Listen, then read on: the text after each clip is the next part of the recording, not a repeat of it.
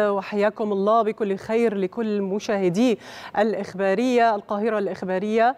آه لنبدأ ببعض الأرقام على اعتبار أن أحاديثنا منذ الأيام السابقة كانت تتوقف عند العديد من الأرقام. وأن تحدثنا عن 17 يوم 17 عام وخمسون عام وخمسة وسبعون عاما.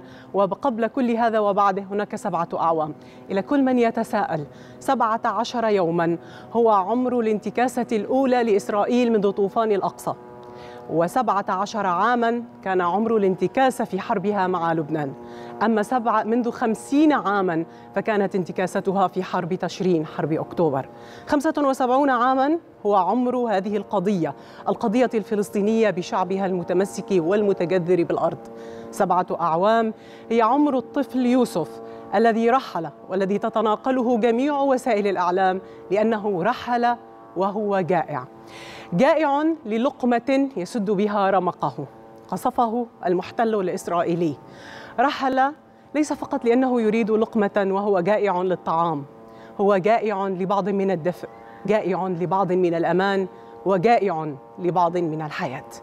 وكم يوسف موجود على الأراضي الفلسطينية؟ لا نعرف اسمه ولا نعرف حكايته وما الذي حل به؟ ومن أجل هذا ومن أجل أن لا يستمر يوسف كل يوم بأن يكون رقما نحن هنا معكم والعالم والضمير العالمي احتكم لإنسانيته وهو يتحرك اليوم في كل الميادين وفي كل الأماكن ليواجه ما يفعله المحتل الإسرائيلي.